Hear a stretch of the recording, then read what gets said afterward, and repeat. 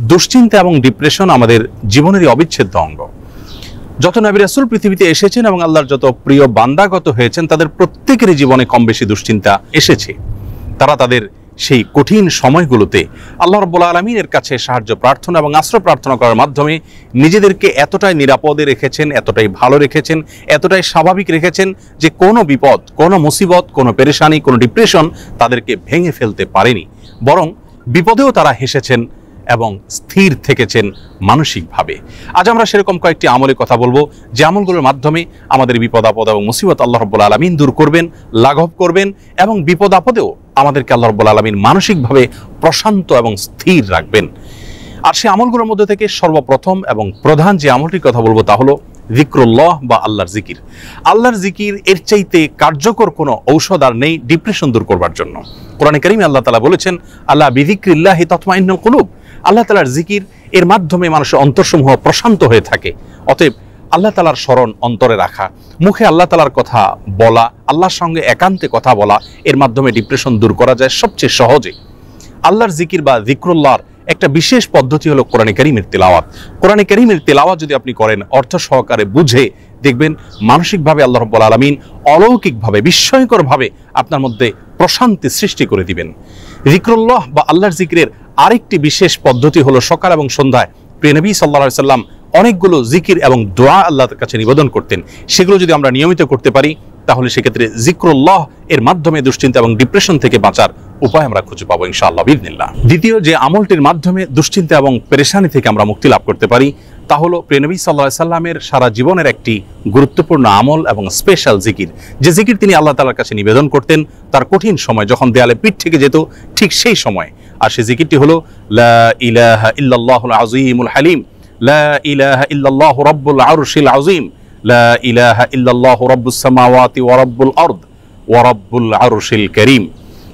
মাধ্যমে আল্লাহ রব্বুল আলমিনের একত্ববাদের স্বীকৃতি, আল্লাহর মাহত্বের বর্ণনা করার মাধ্যমে আমরা দুশ্চিত এবং পেরেশানি থেকে মুক্তি লাভ করতে পারব, ইনশাআল্লাহ বিদিনিল্লাহ তৃতীয়ত, যে আমলের মাধ্যমে আমাদের বিপদ, আপদ এবং কঠিনতম সময়ে আল্লাহ তালা আশ্রয় প্রার্থনা করতে পারি, দুশ্চিন্তা থেকে মুক্তি লাভ করতে পারি, সে দোয়াটি প্রেনবী সাল্লাহ সাল্লাম সারা জীবন নিয়মিত পাঠ করতেন। আনাসরদুল্লাহ তালাহ তার দশ বছরের সেবক ছিলেন। তিনি বলেছেন, আমি নবী সাল্লামকে দেখেছি, এই দোয়া সবসময় তিনি পাঠ করতেন এবং আল্লাহ তালার কাছে দুশ্চিত এবং পেরেশানিতে আশ্রয় প্রার্থনা করতেন। আর সে দোয়াটি হলো, আল্লাহম্মা ইন্নি আউযুবিকা মিনাল হাম্মি ওয়াল হাজান ওয়াল আজজি ওয়াল ক্যাসেল ওয়াল বুখলি ওয়াল জুবুন ওয়াদালাইদাইনি ওয়া গালাবাতির রিজাল দোয়াটির অর্থ হলো, আল্লাহুম্মা ইন্নি আউযুবিকা মিনাল হাজান আল্লাহ আপনার কাছে আমি আশ্রয় প্রার্থনা করি, মুক্তি চাই পেরেশানি, দুশ্চিন্তা এবং ডিপ্রেশন থেকে এবং ওয়াল আজজি ওয়াল কাসাল, অক্ষমতা এবং অলসতা থেকে এবং কৃপণতা থেকে ভীরুতা থেকে আপনার কাছে আমি আশ্রয় প্রার্থনা করি। ঋণের যে চাপ, প্রেশার আছে সেটি থেকে এবং মানুষ আমার উপরে যেন চড়াও না হয়, সে বিষয়ে আপনার আশ্রয় প্রার্থনা করি। চতুর্থত যে আমলের মাধ্যমে আমরা দুশ্চিন্তা, পেরেশানি এবং জীবনের কঠিন সময়ে আল্লাহ রাব্বুল আলমিনের স্পেশাল সাহায্য পেতে পারি, তা হলো সলাৎ সলাৎ হলো আল্লাহর সঙ্গে সংযোগ স্থাপনের সবচাইতে সহজ মাধ্যম। প্রিয়বী সাল্লাহ সাল্লাম বলেছেন সৈয় মুসলিম বর্ণিত হয়েছে, আকরাবু মা ইয়াকুনুল আব্দুমির রব্বি হওয়া সাজিদ।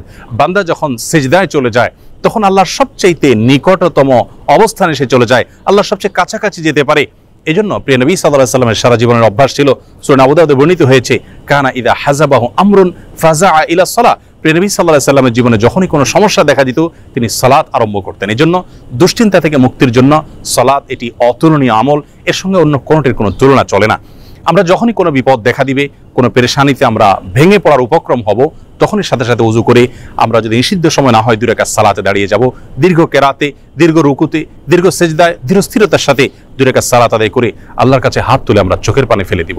সালাতের মধ্যে দুশ্চিন্তা এবং বিপদ থেকে মুক্তি লাভের জন্য যে সালাদটি সবচেয়ে বেশি কার্যকর এবং আমার জীবনে বারবার আমি পরীক্ষা করে দেখেছি যে এর মাধ্যমে আল্লাহ রব্বুল আলমিন অলৌকিকভাবে, বিস্ময়করভাবে দুশ্চিন্তা থেকে মুক্তি দান করে থাকেন। তাহলে তাহজুদের সলা, ভোর রাতে যখন আপনি সবাই ঘুমিয়ে থাকবে, তখন উঠে দুরেকাজ সালাতে দাঁড়িয়ে যাবেন উজু করে এবং দীর্ঘ সময় নিয়ে দৃঢ়স্থিরতার সাথে কায়মন বাক্যে আল্লাহ তালার কাছে সালাত নিবেদন করবেন। সালাতের পরে যখন দুহাত তুলে আপনি প্রার্থনা করবেন জর্জর করে চোখের পানি আপনার চলে আসবে। আল্লাহর সঙ্গে একান্তে কথা বলবেন, আপনি নির্ভার ফিল করবেন, দুশ্চিন্তা থেকে মুক্তি লাভ করবেন।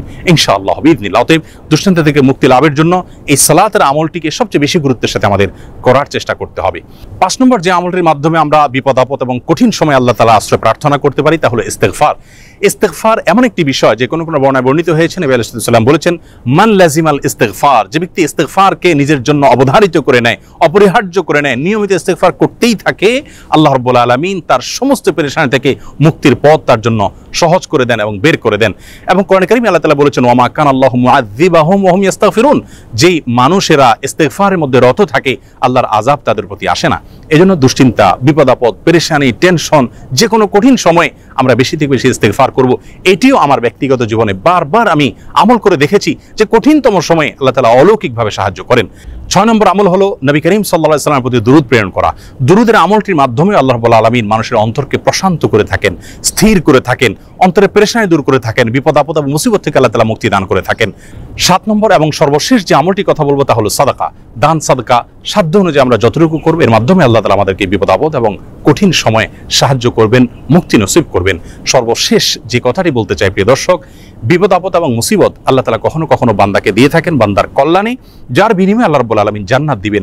দুনিয়াতে যদি সারা জীবন আমরা কষ্ট করি, বিপদে থাকি, মুসিবতে থাকি, আর এর বিপরীতে যদি চিরকালের জন্য, অনন্ত অসীমকালের জন্য জান্নাত আমার হয়ে যায়, তাহলে এটা কিন্তু আমার লাভজনক বিনিয়োগ হলো।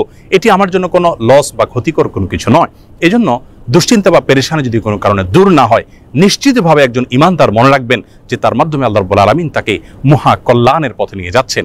আল্লাহ রব্বুল আলমিন কঠিন সময়গুলোতে আম্বিয়া আলিহিম সালাতামের মতো সবরে জামিল বা উত্তমভাবে সবর তথা ধৈর্য ধারণ করার তৌফিক নসিব করুন।